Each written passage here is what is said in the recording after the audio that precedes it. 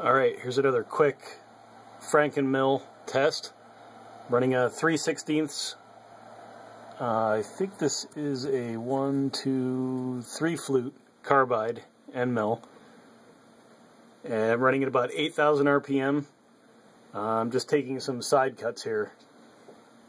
Uh, not sure of the depth of cut because I'm just running this in manual jog mode.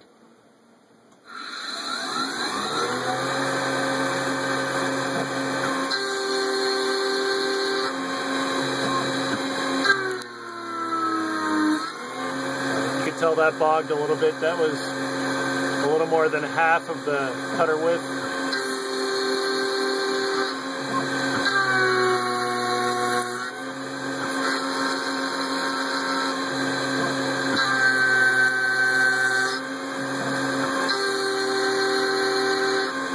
Certainly not used to being able to do anything like this on an X3.